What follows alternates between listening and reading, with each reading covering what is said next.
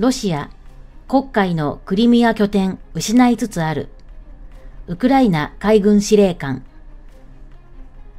ウクライナ海軍司令官のオレクシー・ネイジュパパ中将は、ロイターのインタビューに応じ、ロシア海軍の黒海艦隊がほぼすべての戦闘可能な艦船を占領下のクリミアから他の場所に移動させることを余儀なくされ、主要拠点はウクライナによる攻撃のため無力化しつつあると述べた。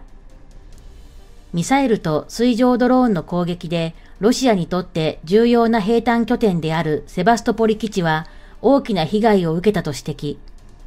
彼らロシアは明らかにこの拠点を失いつつあると語った。移動した艦船はノボロシスクやアゾフ海に停泊しているという。ネイジュパパ氏は、黒海東部沿岸にあるロシアのノボロシスク海軍基地には、クリミアのセバストポリのような大規模な設備はなく、巡航ミサイルの保管、装填場所として機能していると述べた。同氏によると、ウクライナはこれまでに27隻の艦船を破壊したり、損傷させたりしたが、そのうちの5隻はセバストポリ湾近くにウクライナの水上ドローンが敷設した機雷によって破壊された。ロシア国防省からはコメントを得られなかった。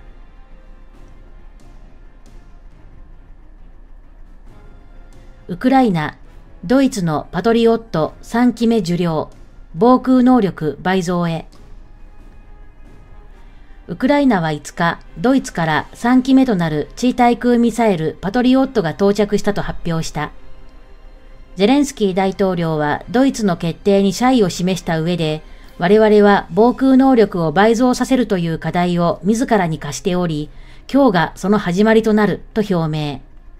地元当局者との会合でも、約束通り夏の間に防空能力を倍増させる必要があると述べた。米国務省高官は2日、来週の北大西洋条約機構 NATO 首脳会議で、ウクライナが要請している防空システムの増強をめぐり、何らかの新たな対応が発表されるとの見方を示した。ゼレンスキー大統領はこれまで、ウクライナは自国防衛のために少なくともあと7機のパトリオットを必要としており、同盟国にパトリオットを入手するよう強く要請していた。飛行場に設置してほしいな。対ミサイル用、それとは別に。対ドローン用、対空も欲しいね。この前、ミグやられたし。あの飛行場も何度か攻撃されてる。このままじゃ F16 の運用が難しい。国外飛行場はアメリカが許可していないし、プーチンも攻撃すると宣言しているので、さすがに NATO も及び腰。どの飛行場でどのように運用するか未定だけど、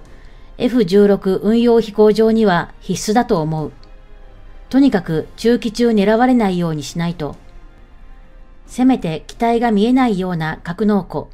距離離したデコイ分含む。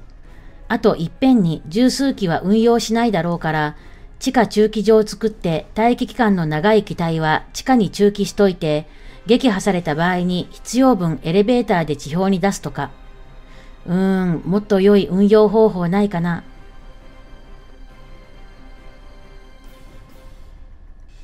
北朝鮮の不良弾薬が暴発し吹き飛ぶロシア兵。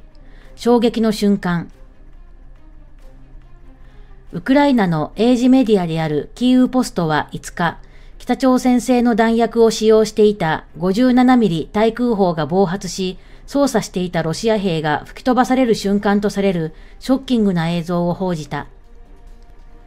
同氏によれば映像はウクライナ国内の未特定の地域で撮影されたもので、ウクライナの軍事ブロガーであるオペレーショナル ZSU が4日にテレグラムに投稿したものだという。それによると、暴発したのはロシアがソ連時代に運用していた57ミリ口径の AZP-S60 対空砲。もともとは牽引式の対空砲だが、映像のものは四輪の台車から取り外され、走行兵員輸送車 APC の上に固定されていたものようだ。韓国の軍事専門家によると、ソ連軍はこの兵器を1950年代に広く運用していたが、70年代には多様な対空ミサイルに取って代わられた。しかし北朝鮮では現在まで運用されている。ロシア軍はウクライナでの兵器不足を補うため、長らく保管されていたこの対空砲を戦場に持ち出したものの、弾薬の国内調達は難しく、供給を北朝鮮に頼っている模様だという。また、対空砲としては口径が大きく、砲弾の初速も速いため、対地攻撃にも使われているはずだという。一方、ロシア軍に供給された北朝鮮製の弾薬に不良品が多く含まれていたことは広く知られている。もっとも高射砲そのものも相当に古い代物なので、暴発の原因が北朝鮮の砲弾にあったのか、ロシア軍による保管状態の劣悪さにあったのか、はたまたその両方なのかは定かではない。いずれにせよ安全性の疑わしい兵器をどんどん使わせるやり方は、両軍の自国兵士に対する人命軽視の表れだと言えるだろう。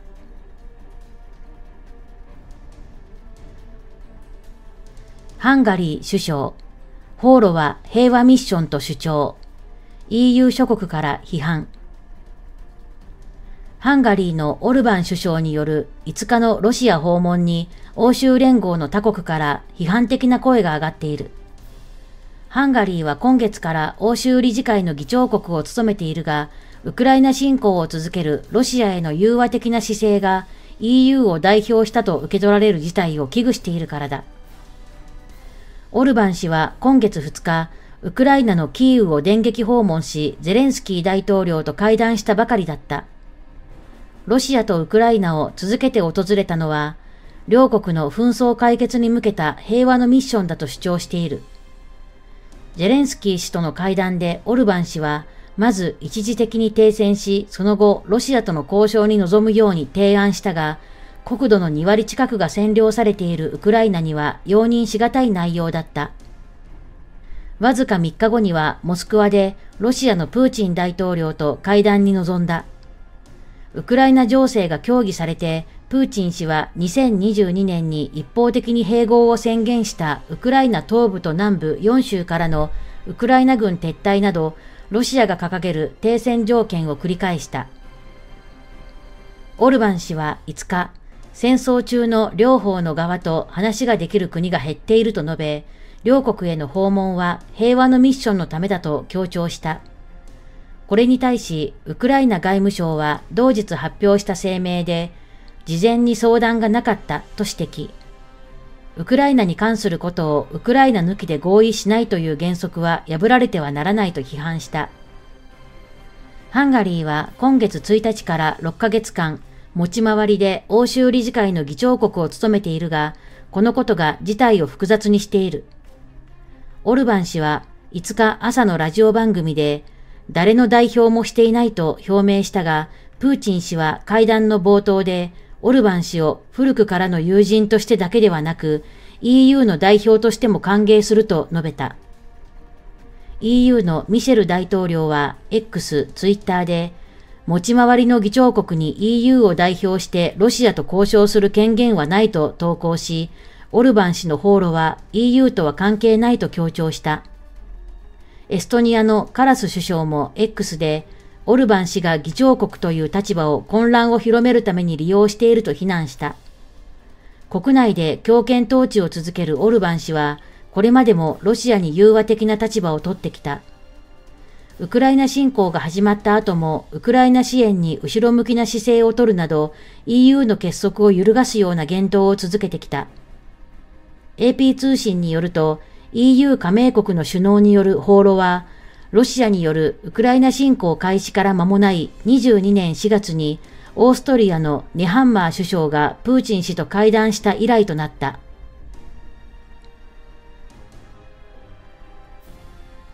ウクライナ停戦宣言せず、受け入れ可能な措置必要、プーチン氏。ロシアのプーチン大統領は4日、ウクライナとの戦争について、ウクライナが不可逆的で、かつロシアが受け入れられる措置を取らない限り停戦を宣言しないと述べた。また、戦争終結に向けたロシアの和平案をウクライナ議会に直接伝える試みには意味がないと述べた。プーチン大統領は6月、ウクライナでの戦争終結には、ウクライナが北大西洋条約機構 NATO 加盟に向けた野心を放棄し、同国、東南部4州をロシアに引き渡す必要があると表明している。ウクライナにとっても正念場だね。ボロボロにされた地域の活動よりもロシア寄りの政権となり、ベラルーシ化が進み、NATO 加盟が叶わなくなれば、破壊しなくてもロシア化が進むだろう。それを防ぎ、少しでも有利に停戦交渉するには、クリミアの奪還。早く F16 戦闘機でクリミア大橋を叩き、補給路、退路を断ち、奪還につなげてほしい。